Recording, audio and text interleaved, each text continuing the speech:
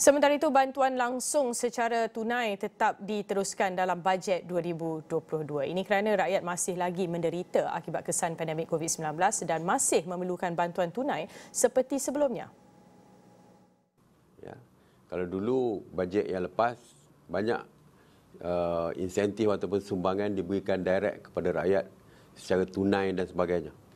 Dan perkara yang sama kita akan teruskan seperti saya kata tadi walaupun pandemik sudah berakhir jadi uh, dari segi saya dipahamkan banyak yang tidak dalam tabung dalam bank dan sebagainya sudah tidak ada tidak ada uh, simpanan lagi.